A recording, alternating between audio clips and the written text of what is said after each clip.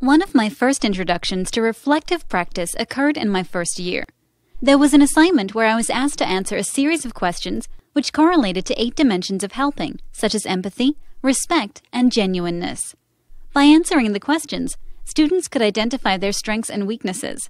I'd never spent more than a few minutes thinking about my interpersonal skills, yet, here I was spending hours scrutinizing myself. The questions guided me, and the core dimensions became part of a framework that at the time I did not appreciate. However, I understand now that this was one of the first times I reflected on myself with the purpose of questioning who I was, why I was that way, and what I wanted to change. I realized that by allowing myself to be honest and vulnerable in my writing, I was able to open a line of communication with myself. Working through the assignment enabled me to not only give a name to what my weaknesses were, but forced me to critically think about ways to improve.